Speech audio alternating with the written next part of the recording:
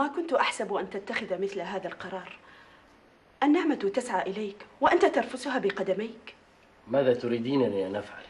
أن تمضي بما عهد به إليك سعيد صدقني إنها فرحة العمر أن تسافر على نفقة الشركة التي تعمل بها وتتخصص بالخارج ثم تعود إلى وظيفتك براتب يفوق الألف وخمسمائة ريال ألا يهمك أن يزداد راتبك؟ يهمني طبعا وخصوصا أننا في طور تأسيس عائلة. إذا هاتف المدير وأبلغه موافقتك. ما بك؟ لن أسافر يا ليلى. أهو قرارك الأخير؟ نعم ولا رجعة فيه. أعرف السبب ولهذا أعجب من أمرك. إذا عرف السبب بطل العجب. بل العجب أن تضحي بنا جميعا من أجل والدك. أخفضي صوتك. لا أريد لوالدي أن يطلع على هذا الموضوع مطلقا. ما الضير في أن ترسل والدك ليعيش في كنف شقيقتك أسماء؟ أسماء أمست في كنف رجل. لكنها عاشت معه عشر سنوات وقامت بخدمته وهي أدرى منا به يكفي أنها خدمته عشر سنوات مذ أمسى مقعدا. حان الآن دوري يا ليلى. أسماء ليست مرتبطة بعمل. هي امرأة في منزلها ولن يشغلها والدك عن وظيفة أو سفر. أسماء ابنته وأنا ابنه. أمن المستحسن أن تكفل ابنة أباها بوجود أخيها؟ ثم إنه أورثني دارة وهي لم ترث شيئا. وهي في كنف رجل غير ملزم بوالدي والنفقة عليه. ما الذي يضيرك في أن يكون والدك في كنف أخيك عمار؟ تقولين عمار الذي سافر إلى الخارج ولم يزر والده مرة واحدة طوال العشر سنوات. لكنه ورث ما ورثت. دعك من هذا الهراء يا ليلى. لكنها الحقيقة. كفى يا ليلى؟ لقد اتخذت قراري. لن أترك والدي. سأخابر مدير الشركة وليختر أحد زملائي بدلا عني. وتذهب الخمسمائة ريال؟ الله الرازق.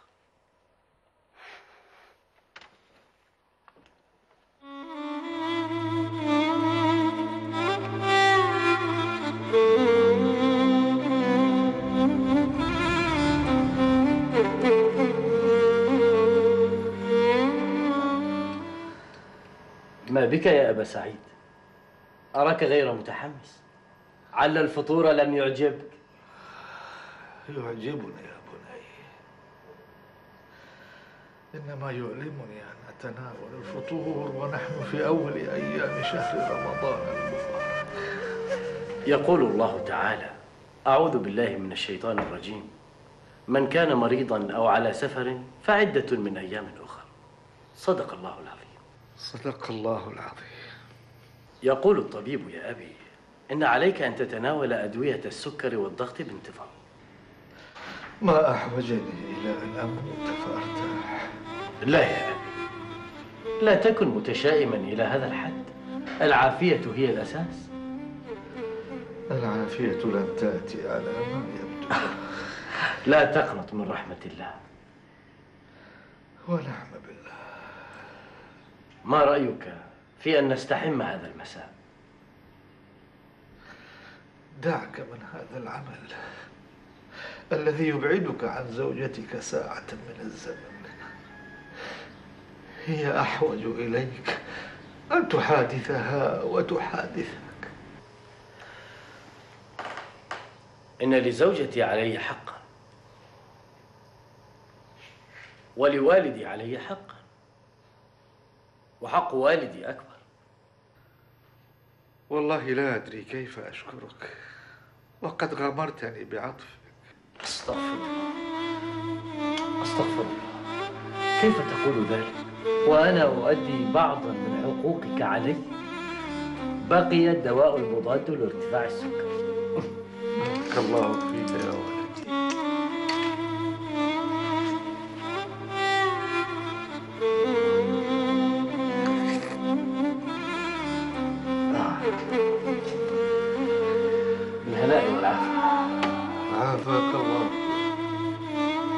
بقي دواء الضغط. موعده الواحدة الظهر. ستتكفل به ليلى. حدثتها بذلك. ما الأمر يا والدي؟ هل أزعجتك ليلى في شيء؟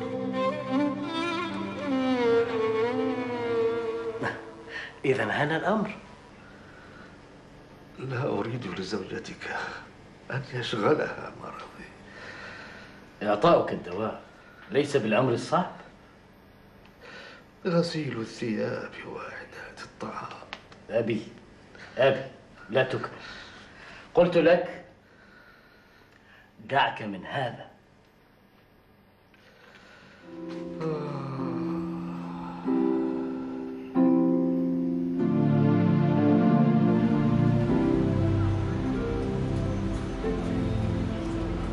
الساعة الحادية عشر والنصف. هذا موعدنا.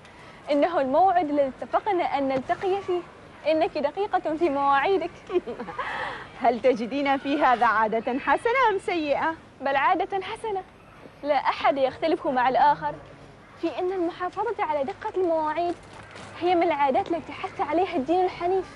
ألا تذكرين قبل ثلاثة أسابيع عندما كنت بحاجة إلى سبعة ريالات ولم أكن أملك سوى ستة ريالات ونصف فأقرضتني نصف ريال حدث هذا منذ ثلاثة أسابيع؟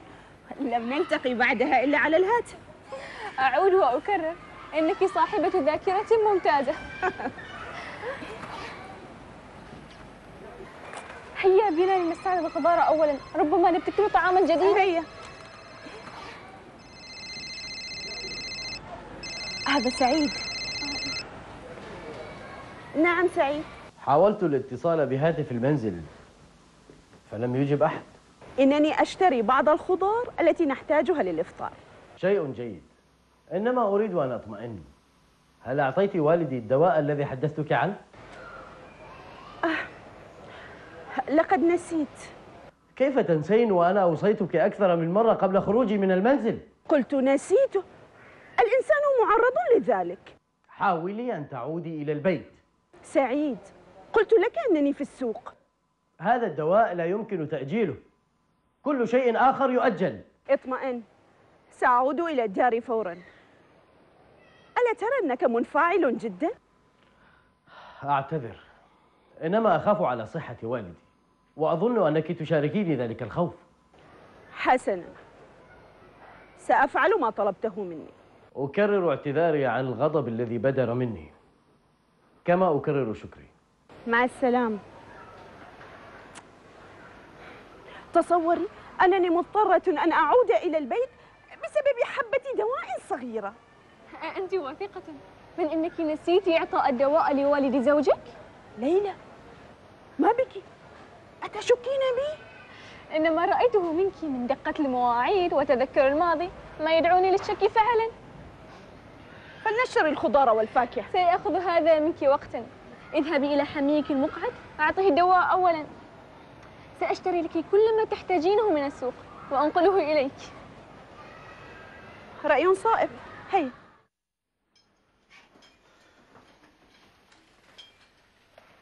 هيا يا أبي آه بارك الله فيك. بارك الله فيك يا ولدي. دعني أنشف شعرك الآن. أمم.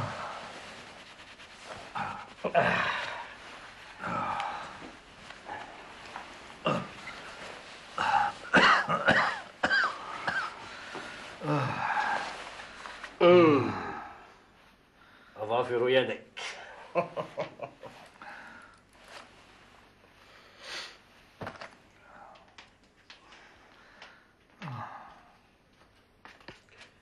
سعيد إنني أنتظرك. سآتي حالا. ريثما أنتهي من تقليم أظافر أبي.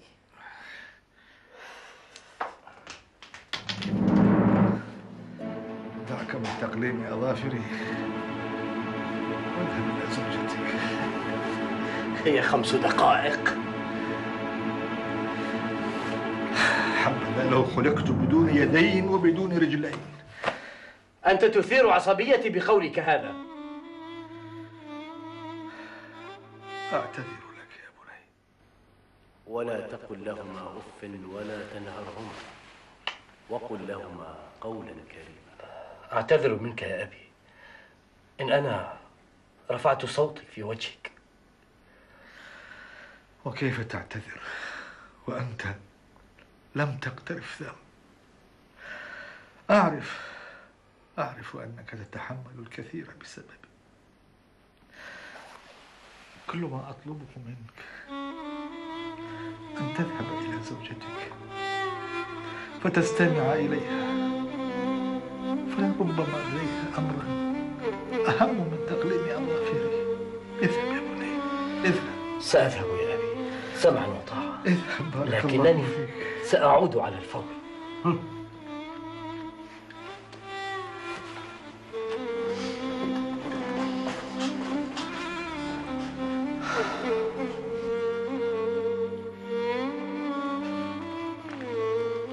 أخبرني هل انتهيت من تقليم الأظافر؟ اخفضي صوتك رجاء ما الأمر كأنك نسيت بأننا مدعوان في دار أخي عامر في لقاء عائلي لم انسى اتصلت واعتذرت لعدم استطاعتي الحضور. اعتذرت نيابة عني؟ بل نيابة عن نفسي. أما أنت فسآخذك بسيارتي إلى منزل عائلتك. تقضين ما تشائين من الوقت معهم. بعد ذلك تهاتفينني فأوعدك إلى المنزل. هل تراني أرملة حتى أذهب للقاء عائلي بمفردي؟ لا حل غير ذلك. تناقشنا في هذا الموضوع نقاشا مستفيضا في الصباح الباكر. طبعا. والسبب هو والدك. بسم الله الرحمن الرحيم.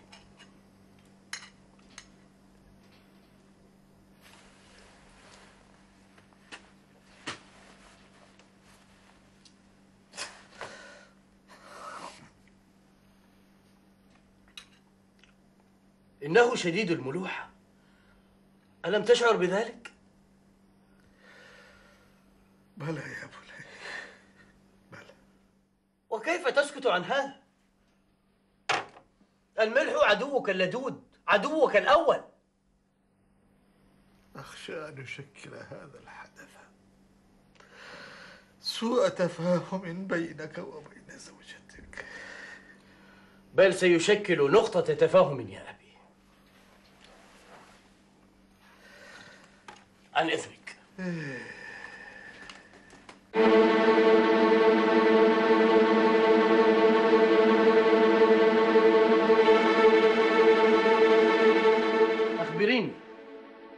متى كان الطعام المعد لوالدي شديد الملوحة كما هو الحال هنا؟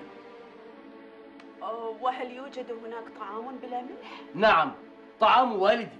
لقد اتفقنا على هذا منذ شهر تقريبا. إعداد الطعام من مسؤولياتي وأنجزه على مذاقي. بل تنجزينه كيفما يجب أن ينجز. طعام والدي يجب أن يكون خاليا من الملح. إذا اذهب وحضره بنفسك. بل أنت التي ستحضرينه. اسمعي والدي ضيف في منزلي. وما لهذا الضيف الذي لا يبرح الدار؟ أخفضي صوتك. أخفضي صوتك. كلامي أنا يطبق في هذه الدار. سعيد يا سعيد. سعيد يا ولدي. سعيد. نعم يا أبي. دع زوجتك وشأنها. فهذا بيتها وأدرى بشؤونه منك. أبي لكنها تحاول أن تغيظك وتغيظني.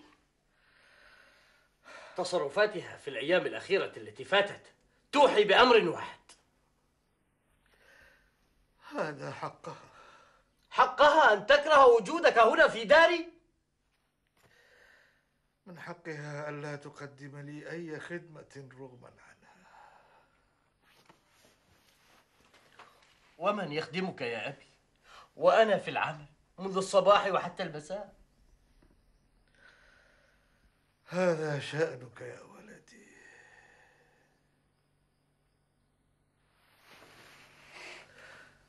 ألا تقدم لي خدمة لن أنساها لك قط؟ أخدمك بعيني هاتين. بارك الله فيك. خذني منذ الصباح الباكر إلى دار المسنين. فأرتاح وترتاح أنت. ماذا تقول يا ابني لا خذني. لن تخرج من هذه الدار. ستبقى في هذه الدار. إلى أن يشاء الله. لن تخرج منها إلا إلى مثواك الأخير لا سمح الله.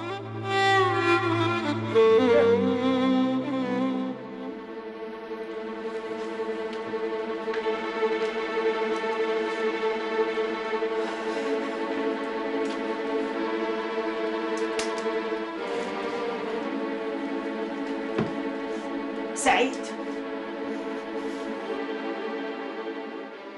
لم تجبني يا سعيد. بما أجيبك. لم تحسم الموضوع الذي تناقشنا فيه منذ قليل. ولا نحسمه. لن يحدث الطلاق بيننا لأجل وساوس في رأسك. أفهمت؟ كل الذي يحدث في الدار وساوس تدور في رأسي؟ نعم إنه الشيطان. الشيطان الذي يحاول أن يدمر حياتنا الزوجية في بدايتها لأجل أمر فرضه الله علي فرضه عليك دوني أنا. أعلم هذا. لكنك زوجتي وعليك أن تتحملي بعض العبء عني. ما عدت قادرة على التحمل. تعبت تعبت. الطلاق مرفوض. لكني أحبذه.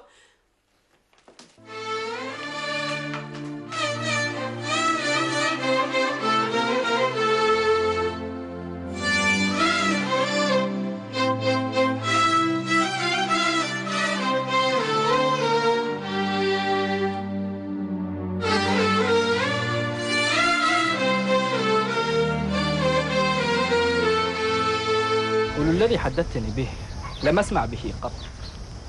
هذا الصباح عندما قابلت ليلى كانت تتوسل إلي في أن أساعدها في أمر طلاقها منك.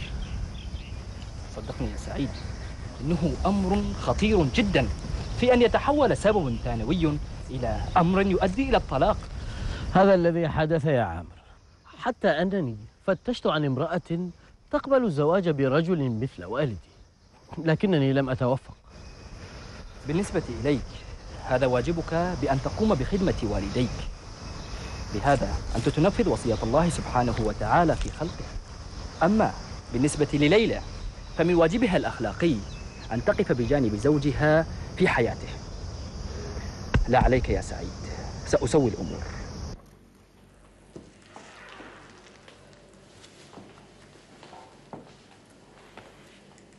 هذه أمي. هذا سرير أتناوب عليه مع زوجي حيث ينام أحدنا قريبا من أمي ليلى وينام الثاني الليلة الأخرى. أمي مصابة منذ سنوات بداء الربو أو ما يعرف بالحساسية الصدرية المفرطة. تكاد تختنق أحيانا فنهب لنجدتها وإسعافها ويتطلب ذلك منا سهرا طوال الليل.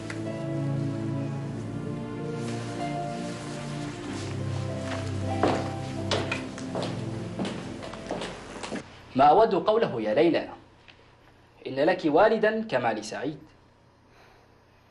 وأنه معرض إلى أن يصبح عاجزا عن الحركة عندها. سأضطر إلى أن أضعه في دار المسنين. ماذا تقول يا أخي عامر؟ هل تدفع بك الأنانية أن تضع والدك في دار المسنين؟ إذا أعتني به في داري. إنك تحاول استثارة عاطفتي. بإسقاط محنة والدي بالمحنة التي أعيشها الآن. إنه أمر وارد لكنك تحاولين جاهدة تجنب هذا الحدث أو حتى التفكير به. أخي عامر إن جئت لتقنعني بعدم طلب الطلاق فأنا مقتنعة بذلك الآن. مبروك يا ليلى. إنها الخطوة الأولى. وإن كنت تأمل بأن أقوم بخدمة والد زوجي كما ينبغي فأنا على وشك القيام بذلك. يسعدني سماع ذلك وإنها الخطوة الثانية. أما الخطوة الثالثة فهي على عاتق سعيد. أعلم ما تعانيه من ضيق وضجر وهذه مهمة زوجك سعيد. أن يجد لتلك المشكلة حلا يوفق بين راحتك وراحة والده. وإني على يقين بأن الله سبحانه وتعالى سيهديه ثوابا لبره بوالده. ها ماذا تقولين؟ في أمان الله.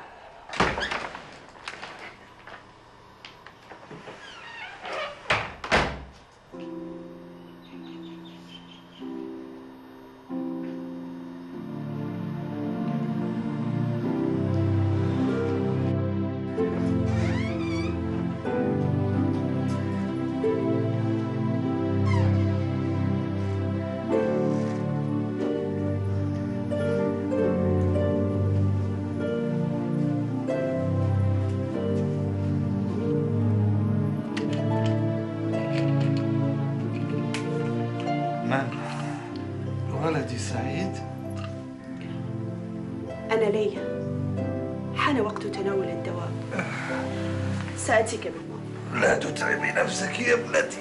آه، فأنا بحاجة لولدي سعيد. وما حاجتك إليه؟ يساعدني لأن أمضي إلى الحمام يا أعزك الله. أساعدك أنا.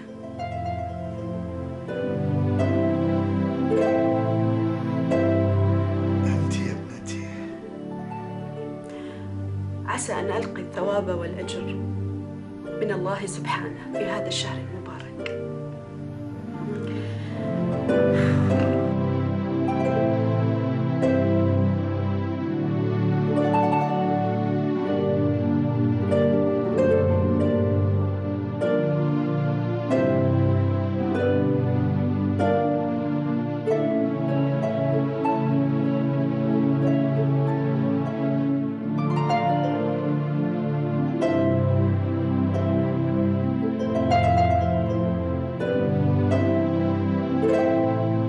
نعم نعم أنا سعيد ماذا؟